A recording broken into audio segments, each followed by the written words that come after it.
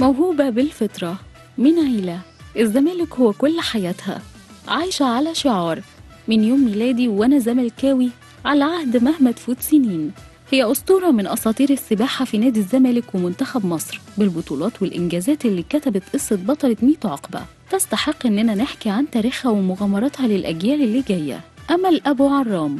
بنت الزمالك السمكة الذهبية اللي كان ليها صولات وجولات في مية البحار والمحيطات ورفعت اسم مصر والزمالك في كل المحافل الدولية وبقت أسطورة من أساطير السباحة. أمل أبو عرام ابتدت حكايتها مع السباحة من نادي الزمالك وهي عندها ست سنين ومن يومها عينيها ما شافتش غير التيشيرت الأبيض أبو خطين حمر اللي شاهد على بطولات وإنجازات كتير حققتها فراشة 100 عقبة الذهبية. موهبة أمل أبو عرام اللي اكتشفها كابتن السباحة الراحل في الزمالك أحمد شلبي. ومن هنا بدأت قصة البطلة الزملكاوية بعد ما فازت بأول بطولة وهي عندها 8 سنين وحصلت على المركز الأول في بطولة الجمهورية لسابق 100 متر حرة.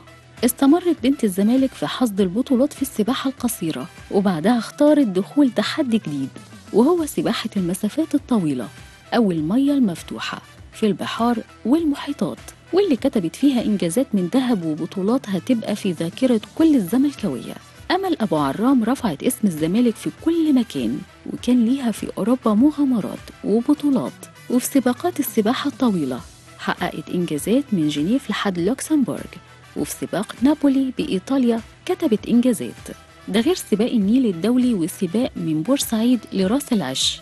وبعد مشوار حافل بالبطولات تم تكريمها من الرئيس الراحل محمد أنور السادات وكانت من أفضل 20 رياضي في مصر. أمل أبو عرام كتبت قصة عشقها لنادي الزمالك ب 34 كأس من سنة 1974 لحد سنة 1987 في مشوار كله إنجازات وتحديات ومغامرات. ومع منتخب مصر كانت فراشة ذهبية في كل السباقات. وبعد الاعتزال أمل أبو عرام ما سابتش المية ورثت بناتها حب الزمالك وعشق السباحة علشان يكملوا المشوار. وكمان أمل أبو عرام مش مجرد سباحة زملكاوية حققت بطولات لا دي أسطورة كتبت تاريخها بالذهب على مية المحيطات. وعملت معجزات. علشان كده حبينا تكون هي بطلة قصتنا ويكون إصرارها وعزيمتها ملهم للأجيال اللي جاية لأنها فعلا أسطورة زملكاوية في تاريخ السباحة المصرية.